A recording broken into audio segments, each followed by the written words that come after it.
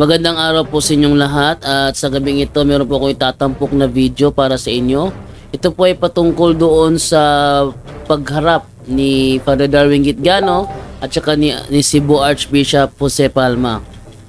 Ah, kamakailan lang, meron tayong nabalitaan na si Father Darwin daw ay naban daw doon sa Cebu. Ah, na ikinatuwa naman ng mga sulpot. Kabilang na doon si Alvin Gitamundok na kung saan is naban si Father Darwin sa Cebu. Pero kamakailan lang, ah, napag-alaman natin na hindi pala naban. Kaya ngayon, nagkaroon ng pagkakataon na magharap si Father Darwin Gitgano at saka itong si Cebu Archbishop Jose Palma para magkapaliwanagan, ah, mag-usap, no? At pakinggan natin kung ano ang mensaheng ibinigay ni Archbishop Jose Palma ah, doon kay Father Darwin at sa buong ministry natin sa punto por punto. Pero bago po muna yan, sa mga bago pa po sa aming channel, please po don't forget to hit the subscribe button at the notification bell para maging notified kayo sa bawat video na ilalabas ko sa channel na ito. Yawan na po natin patagalin. Simulan na po natin.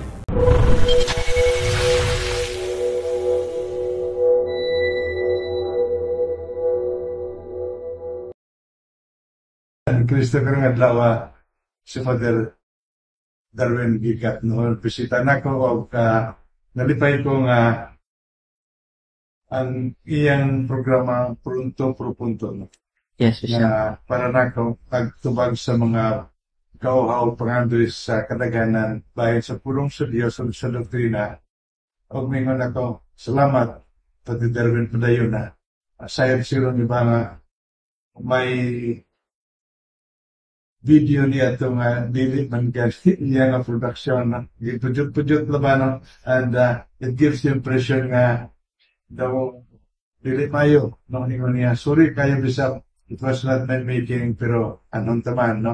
Kaya gigamit ang pipila ka mga dinalan nga dili eksakto sa iya gipanulti dili na reflecting on the message. Pero uh, tuwa ako nga padayon kita ng pagpaminaw o pagsalig o pananglit na mga yabag, no? Ino niya. Hindi man lagi kami bisap, no? Pero ako na to nga, hindi magyabag nga parehas as if?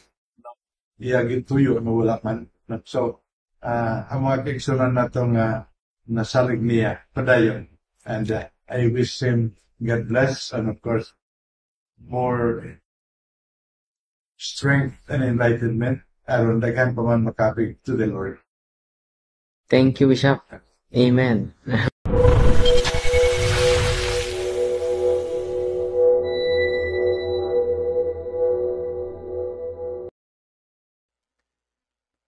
At yun po, ah, nagkaharap na rin si Father Darwin tsaka si ah, Archbishop ah, Jose Palma.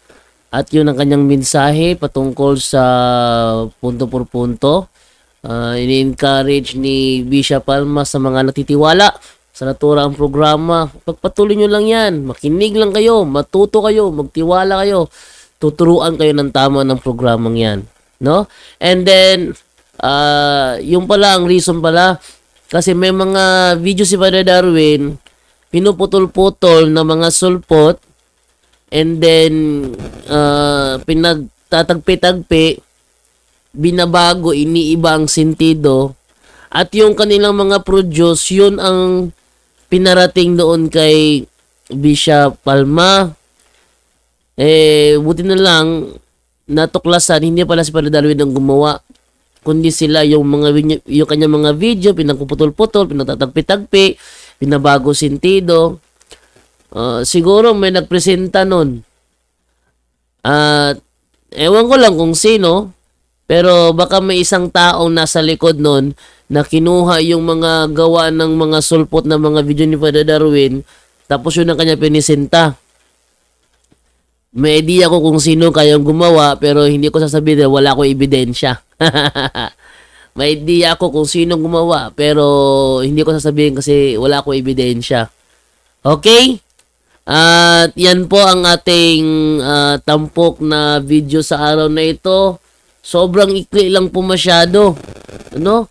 Pero at least ang mahalaga natuklasan natin na hindi pala ban si Father Darwin. Eh bakit kinansel yung kanyang mga talk doon sa ano sa Cebu? Re, subject yung for rescheduling, no? Kinansel mo na yon dahil doon sa issue na kailangan mo nang bigyang linaw ni Father Darwin yung mga isyong ipinukol sa kanya, kaya yun na-cancel. Pero na inaasikaso na po ang rescheduling sa naturang lugar sa Cebu, yung kanyang mga talks doon. Oh, uh, sinasubject na po yung rescheduling. Okay, so ang mahalaga, ah matutuloy yung kanyang mga talks sa Cebu, pero hindi pa ngayon. No? Kaya sa lah- ah, advertise ko na rin ano, abangan ninyo karong ngayong darating na March 9 ang continuation sa debate ni Eugene Gapo tsaka ni Ma'am Genevieve na naputo nung nakaraan dahil nag-blackout kina Ma'am Genevieve. Ah, ito naman sa ano sa sa 16 naman si Brother Junior naman tsaka si Ma'am Genevieve. Yung sa akin may tatlo akong mga challenger si Zel Umali, si Ma'am Genevieve Papiliero, at saka itong si Ruben Nakilada, ah standby lang kayo. Dahil pag available na ako, ah papatulan natin yung mga tema ninyo. Okay, so hanggang dyan na lamang po ang ating presentation sa araw na ito. Maraming salamat po.